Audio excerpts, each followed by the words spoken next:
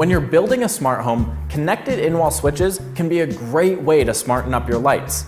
The problem is when you're in a rental space like this, the CNET Smart Apartment, then you have to have something with a lighter install. Enter the smart plug. A smart plug can give almost any pluggable device a brain. And in the case of this, the $50 iHome ISP8 smart plug, that brain means that you can connect that dumb old lamp to Siri, Alexa, SmartThings, Wink, and even Nest. The iHome isn't perfect though. I found its setup especially cumbersome.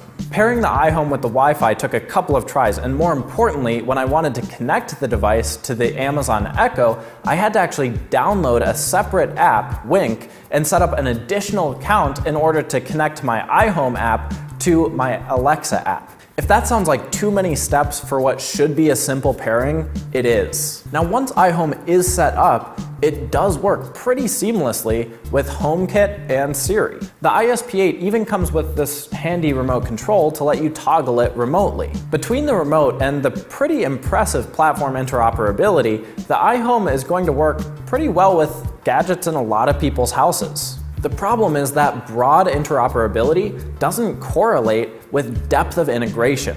Other than what's now pretty standard energy monitoring, the iHome doesn't bring very much new to the table.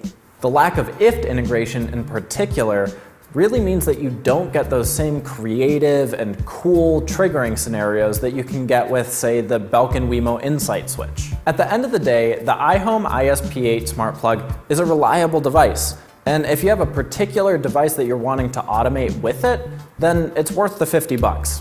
The problem is, it doesn't distinguish itself from the rest of the larger market, and I can't recommend it over the industry-leading Belkin Wemo Insight switch.